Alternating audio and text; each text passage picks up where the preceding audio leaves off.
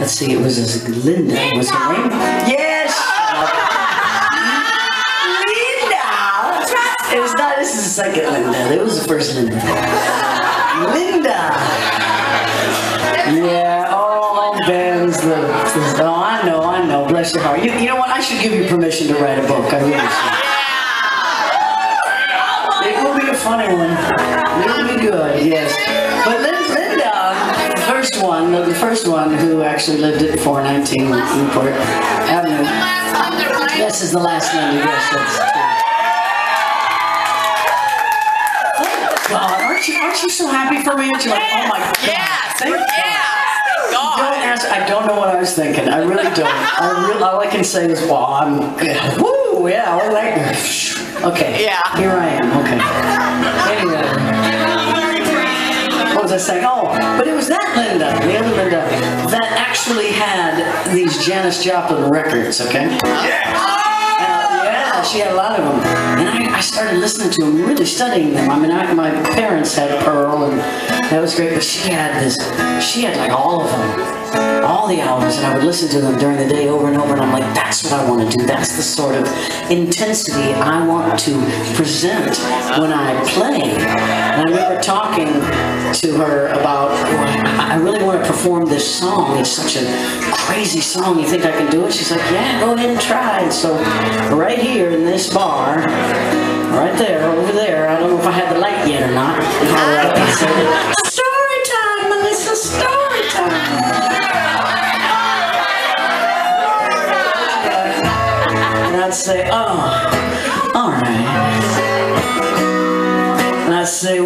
let me see. I've been hanging around, guys. I've been having me a good time. And, you know, I was hanging out and I thought I found me a, a real love, a good love, a true love. Yes, I did. I thought I found me a, a real, well, I mean, I was, I knew I was in love because it had been a whole two weeks. And it was going great, so it must have been love. It was love. I know it was love, and there I was because because I didn't need food anymore.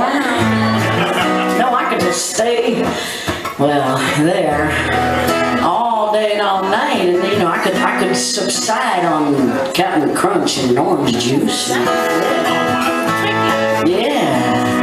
Yeah, and it was a beautiful time. And then one one morning, she just rolled over and she said, "Honey, gotta go feed my dog."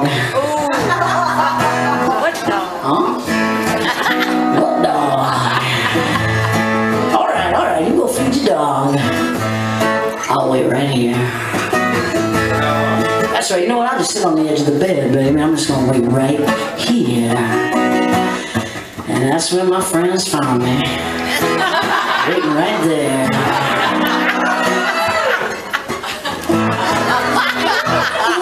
She be right back. And they picked me up and said, Oh, come on, get dressed. We're going to the bar. Why is it your friends take you back to the place you got in trouble with in the first place? I mean, really, they should take me to the bakery or something, not the bar. Um, oh, but you know, the bar's a place where you have a couple of those drinks and all of a sudden things start feeling good, right? Yeah, it's feeling all right, yes. And I could, I got over it. I over it and I could, I could sit at home by myself after a while and back then I'd watch Cagney and Lacey reruns. No, no. She's gay. I know she's gay. She's be gay. Please, if there's a guy, no. Yeah. And one night I was watching me some Cagney and Lacey and there was a knock on my door. And I said, hmm, I recognize those knock. It's what I used to say. That's right. And so I opened the door and there she was. Huh. And I thought, well, there's a few things I want to say to you because, you know, that was rude.